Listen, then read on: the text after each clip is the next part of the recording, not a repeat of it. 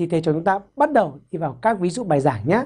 Và ví dụ đầu tiên là ví dụ số 1. Chúng ta cùng đọc đề. Hãy chọn câu đúng. Nếu một vật đang chuyển động mà tất cả các lực tác dụng vào nó bỗng nhiên ngừng tác dụng thì Đáp án A, vật lập tức dừng lại.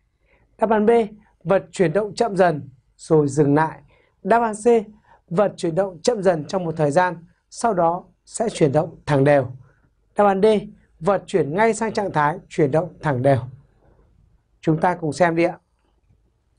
Bốn đáp án này, chúng ta đọc kỹ lại một lượt và chúng ta hãy xem nhé. Nếu một vật đang chuyển động mà tất cả các lực tác dụng vào nó bỗng nhiên ngừng tác dụng thì vật như thế nào? Đáp án A, vật lập tức dừng lại.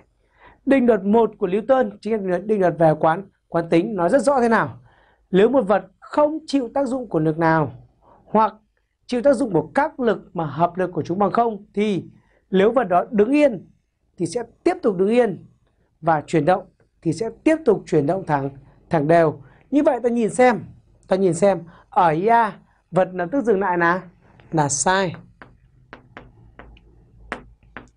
IB vật chuyển động chậm dần rồi dừng lại cũng tiếp tục là là sai. Được chưa?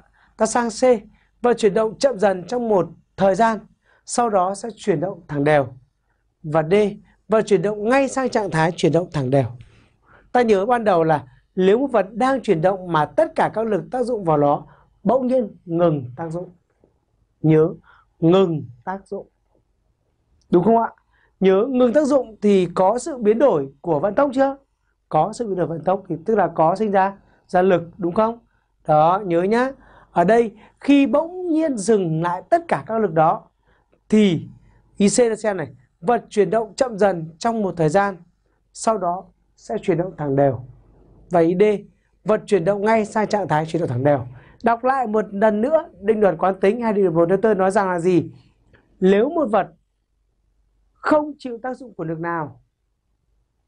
Hoặc nếu chịu tác dụng các lực nhưng hợp lực chung bằng không, thì nếu vật đó đứng yên thì tiếp tục đứng yên, chuyển động, tiếp tục chuyển động thẳng thẳng đều. Như vậy có chậm dần không? Không.